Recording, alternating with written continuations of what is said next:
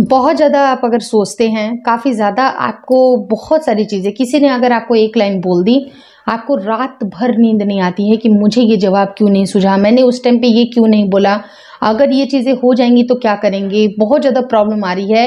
रात भर आप परेशान हैं, रात भर आपको नींद नहीं आई। और सुबह में जब अगर आप जगते हैं तो बहुत ही ज़्यादा आपको डल फील होता है थका थका महसूस होता है। नींद पूरी नहीं हुई होती है और आप काफ़ी ज़्यादा चिड़चिड़ा महसूस करती हैं या फिर करते हैं मूड स्विंग्स होती है, बहुत ज़्यादा टेंशन होती है। तो क्या कभी आपने सोचा है कि ये ओवर थिंकिंग करने की हमारी जो प्रॉब्लम है, इसको हम कैसे कम करेंगे?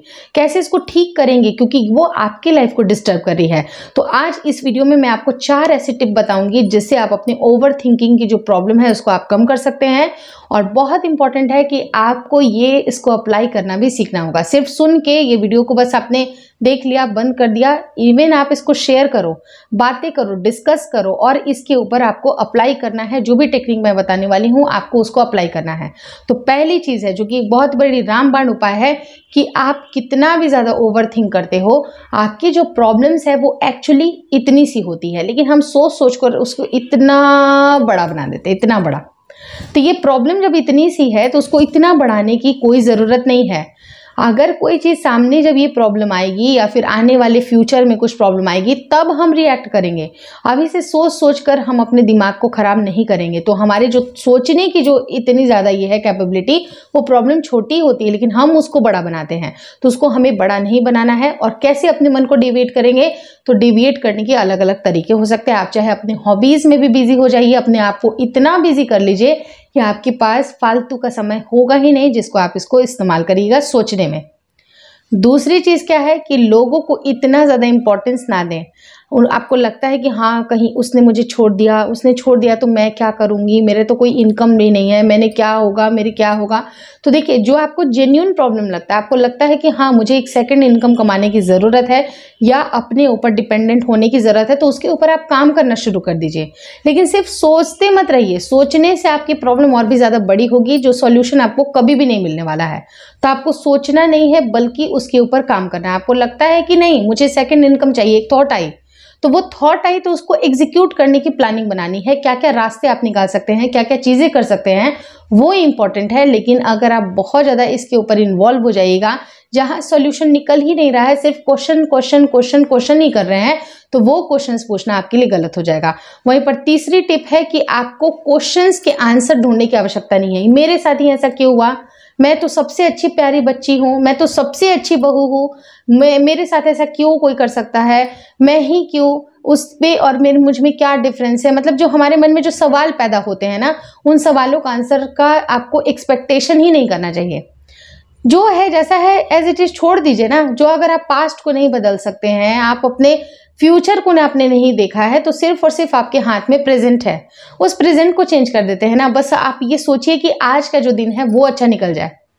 वो पास्ट में क्या हुआ? कौन आपके साथ सगा व्यवहार कर रहा है? कौन सौतेला व्यवहार कर रहा है? वो जो भी किया, जिसने किया, बहुत अच्छे के लिए किया। क्योंकि अगर उसने ये चीज़ नहीं की होती तो आज इतनी स्टेबिलिटी नहीं आई होती। उसको इस हिसाब से देख के सोचिए, उसको इस एंगल से देख के सोचिए, तभी आपको लगेगा कि नहीं, आपके अंदर जो कैपेबिलिटी है, जो कि आप खुद कर सकते हैं, उसका एक मज़ा, उसकी एक बात ही अलग है। तो आपके अंदर जो कैपेबिलिटी है, वो दूसरे को ठुकराने से ही आती है। अगर सब कोई आपको बहुत ही प्यार से और एकदम रूई के, एकदम रजाई के अंदर आपको रखता तो आप इतने कंफर्ट जोन से कभी बाहर निकल ही नहीं पाते।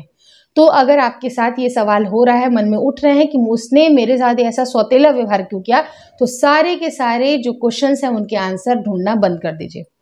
छोड़ दीजिए जैसा है, जो है जैसा है, बस अपने ऊपर फोकस करना स्टार्ट कर दीजिए। चौथी चीज़, बहुत ज़्यादा जो कंफर्ट जोन हमने बना करके रखा है, सबके साथ एक अच्छा जोन कि हाँ चलो सबके साथ हम अच्छा करते हैं मैंने उसके साथ, ऐसे होता है ना, कई बार क्या होता है कि हम दूसरों के साथ अच्छा करते हैं और ये एक्सपेक्ट करने लगते हैं कि सामने वाला भी हमारे लिए अच्छा करे। लेकिन उनकी तरफ़ से अगर वो चीज़ें आपको थोड़ी सी भी कमी लगती है तो आप ओवर थिंक करना शुरू कर देते हैं। भाई, मैं तो उसके लिए इतना कुछ करके गई, मैंने तो उसके लिए ये ये किया, उसने मेरे साथ ये नहीं किया तो वो जो सामने वाला जो एक्सपेक्टेशन है उसको आप कम कर दीजिए। ओवर थिंकिंग होगी ही नहीं, अगर आपको करना है, मान लीजिए कि आपने किसी के लिए बहुत अच्छी गिफ्ट लेके आए आप आपको अगर देने की इच्छा है, तभी आप दीजिए। सोसाइटल प्रेशर के ऊपर आपको नहीं बनने हैं। अगर सोसाइटल प्रेशर भी पड़ोगे तो सोसाइटी का इतना प्रेशर नहीं होगा, जितना आपका ओवर का प्रेशर हो जाएगा। तो अगर वो चीज़ें आपको देनी है, दिल से देनी है, तभी आप दीजिए।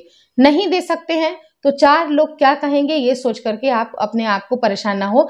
अगर आपको देने में खुशी मिलती है, आपको लगता है कि देने से मैं ओवर थिंक नहीं करूँगी या नहीं देने से ओवर थिंक करूँगी, जो भी चीज़ें आपको लगती हैं कि इससे ओवर थिंकिंग नहीं होगी, वही काम आपको करना है, चाहे सामने वाला आपको जैसे भी ट्रीट करे। और अपनी एक्सपेक्टेशन को बिल्कुल ज़ीरो बना करके चलिए मतलब यहाँ पर अगर आप शून्य पे होंगे तो चाहे आपको आधा मिले या एक मिले, चाहे एक हज़ार मिले। आपके लिए सारा वो पॉजिटिव ही होगा। तो अपने आप को पॉजिटिव एस्पेक्ट में रखिए और एक्सपेक्टेशन सबसे ज़ीरो माइनस नहीं करना एक्सपेक्टेशन एक्सपेक्टेशन बिल्कुल ज़ीरो कि आपकी तरफ़ से कुछ भी चीज़ है, वो आपकी पर्सनल चॉइस है कि आप देना चाहते हैं या करना चाहते हैं, लेकिन विदाउट एक्सपेक्टिंग अदर्स आपकी ये ओवर थिंकिंग की प्रॉब्लम अगर दूर नहीं हो गई और चैन से नींद नहीं आई, यहाँ पर आप कमेंट करके ज़रूर अपनी बातें ज़रूर लिख दीजिएगा कि हाँ और जिस दिन अगर आपको पीसफुली नींद आने स्टार्ट हो गई तो मुझे थैंक यू भी ज़रूर लिख देना। Thank you so much for watching ट्वेंस Bible care